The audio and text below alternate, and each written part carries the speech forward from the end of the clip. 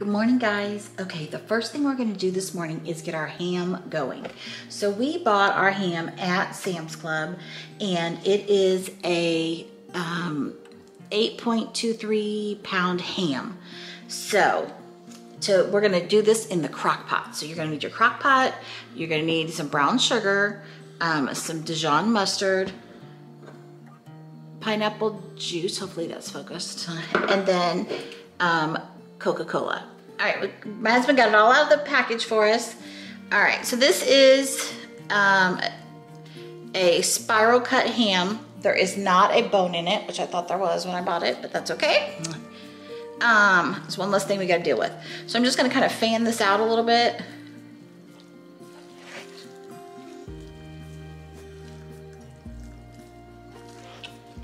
Here we go. I'm like, in the wrong direction. I'm like, why isn't this doing what it's supposed to be doing?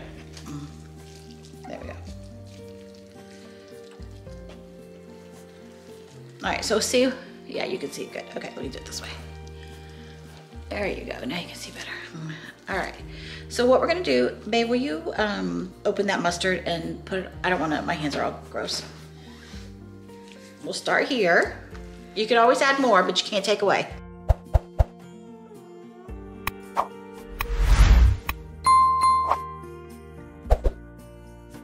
All right, next thing we're gonna do is my husband is going to um, sprinkle some brown sugar.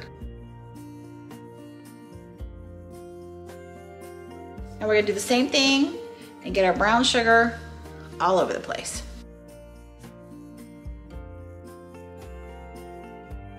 We're gonna lift this up and we're gonna put it this side down in the crock pot.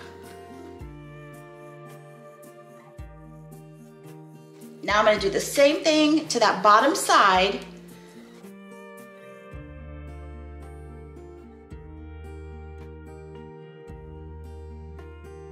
Why are you Why are you fanning him out? So all the stuff can get down in the, hmm, in between the slices. All right, I'm gonna wash my hands and I'll be back in a bit.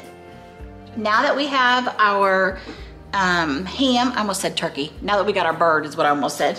Now that we have our ham in our crock pot and we have the brown sugar and the Dijon mustard on it, we're gonna open a can of Coke and we're going to put it all around.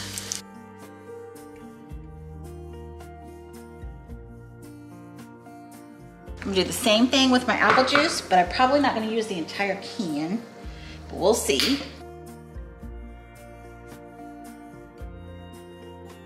We're gonna get the lid on this and it's gonna cook on low for four to six hours.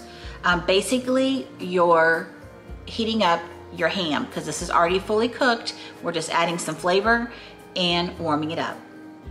And this is our ham whenever it came out of the crock pot. We were so busy in the middle of the party that I forgot to film um, the actual live footage of the ham.